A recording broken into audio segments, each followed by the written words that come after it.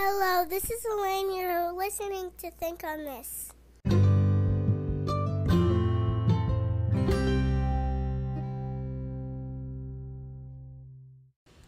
Okay, so we're getting ready to start our study back up. We are in John chapter 1, and we are going to read verses 9 through 13. Ash, are you in John chapter 1 yet?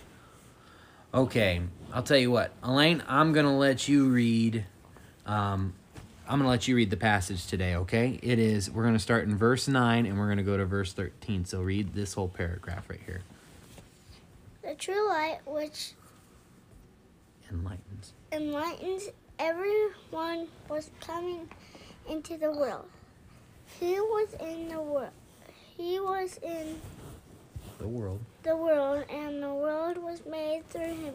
Yet the world did not know him. He he oh he came into his own, and his own people did not receive him. But all to did but to all who did receive him, who believed in his name, he gave the right to become children of God, who were born not of blood, nor the will of the flesh, nor of the will of man, but of God. Okay, so let's break that down. The first part of verse 9 it says, The true light which gives light to everyone was coming into the world. So if there's a true light, Adeline, if there's a true light, what does that mean? Can there also be a bad light, a false light? Can there be? Yes. Okay, yes, you're right. So if there's a true light, there's a false light. What's the opposite of light? Dark. Very Dark. good. Very good. So who would be the dark light? Devil. The devil. That's right.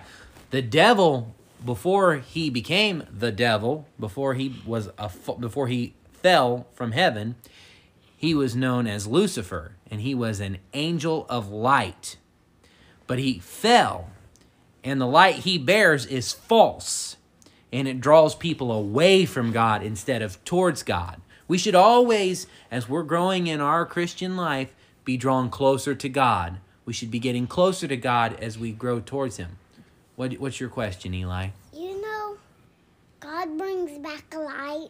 That's right. We're actually talking about that, how the true light is coming into the world. And who is the true light? God. Who, God. who is it, Eli? God. Okay, more specifically, is it Jesus. Very good. Very good. So, so the devil draws people away from God.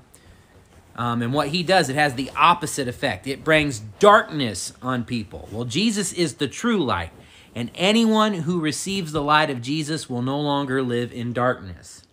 Now, this next part that Laney read, it says, He was in the world. This is talking about Jesus already being in the world.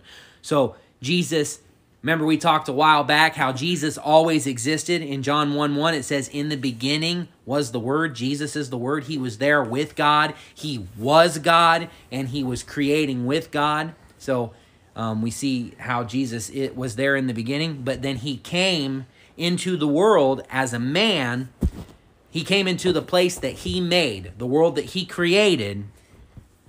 Um, and when he came, he actually visited his creation, but the world did not recognize him. In fact, what did they do, Elaine? They didn't. They they didn't accept him. They Rejected him. yeah. And what does reject mean, Addie? Push away. They pushed him away. They didn't want what he had to say. They didn't want what he had to offer. Very good. Very good. So, um, he came into the world and they rejected him. He even came to his own people, the people God had chosen, which was, do you know who that is, Elaine? No. What was the name of the country? Israel. Very good. It was Israel. He was rejected by the Jewish people, the people of Israel. They did not want his light. They wanted something else. They wanted something else. They wanted him to be their king, but he didn't come to take the kingdom just yet. He came to save people, to bring the light, and they rejected his light.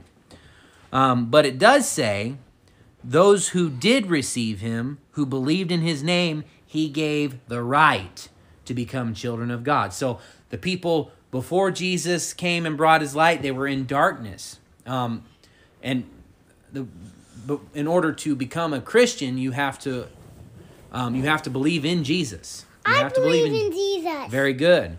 You have to believe in Jesus in order to have the light. And the people in the Old Testament, they were looking forward to the light to come. Now, shh, we, they were looking forward to the light to come. We look back at the light that has already came, but it's all the same light. Hey, Dad. What, Eli? know who makes the darkness. A devil. Well, the devil is of the darkness. That's right. The dark darkness is the absence of light. So, brings light. You know, I know who brings light. God. That's right. God brings light. I'm glad that you're getting this. I'm glad you're understanding it. So, but it says to all who uh, received him, believed in his name, he uh, gave them the right to become children of God. So those who received him as their savior, those who believed in him for who he really was, no longer belong to the family of darkness, but now belong to the family of God. They became children of light. When you get saved, when you accept Jesus as your savior, you are no longer children of darkness, you are now children of light. Jesus has changed you into a child of light. You are his forever. Remember, we looked back last week and we talked about how uh, the light shined in the darkness and the darkness could not overcome it. Once the light's there, the darkness can't push it away again. You understand? Okay. Yes, but so once night is darkness. Huh? Night is darkness. what is darkness? Night. That's right. This isn't talking about like physical light and physical darkness. This is talking about spiritual light and darkness, Addie. What Jesus does inside your heart. He changes you. He changes you like in the book of Daniel, it talks about King Nebuchadnezzar. Remember the bad, evil king that um, uh, had um, was going to throw Shadrach, Meshach, and Abednego into the fiery furnace. Remember? Well, one of the things God had uh, said. It, it like it brings them back to life. Well, they didn't die though, okay? But what ended up happening was Nebuchadnezzar had a hard heart, and then God softened his heart. Um, in the end of Daniel, um, well, and that's what He does with us. He He takes our hearts of stone and makes them hearts of flesh. He softens us and gives us new life. We're no longer spiritually dead, but now we're spiritually alive. So it says, "Who were born." Not of blood, nor the will of the flesh, nor the will of man, but of God. You know how you said you're talking about night and day, Addie? Well, this is talking about spiritual, um, spiritual life. It says, "Not born of blood, not born of blood, or the will of the flesh, or the will of man, but of God." That means this is God that's doing it. Elaine, you understand? This is what God's doing in your heart. It's not something you can do yourself. It's something He has to do within you. So, um, so Jesus is the true light, and He's the one that gives everyone light. He came to His own people, the people of Israel. They rejected Him. So then He extends the offer beyond the people of Israel to people like us, Gentiles. He has given us the chance to give the, to, to receive the light, and if we receive the light, we become children of God, and it's something that God starts within us. This is not physical birth. It's not talking about being born of the flesh, but born um, spiritually. You know how you know how you're born when you're well. This is talking about a rebirth. You are born again. Only you're born spiritually into the family of God. So um, it can only come from God. God is the only one who can make you born again, and that's what we're going to take from this lesson today in John chapter 1 verses 9 through 13. Does anyone have any questions about what we just read? No. Addie, what's your question? Uh, darkness and darkness is bad and and light is good. Okay, is that a That's question? my question. And Eli's scared of the dark and and he's not afraid of the light. I need to tell Daddy. Yeah, well, it's good that he likes the light and not the dark. Um, Eli, what's your question? My question is You're going to ask a question. You're not going to say something, right? uh, I am going to say something. Okay, go ahead and say it. I, you know, God, you know, light and darkness comes from devil and the God. So God brings light and the devil tries to bring darkness. Yeah. Okay, that's good. I'm glad you're understanding that.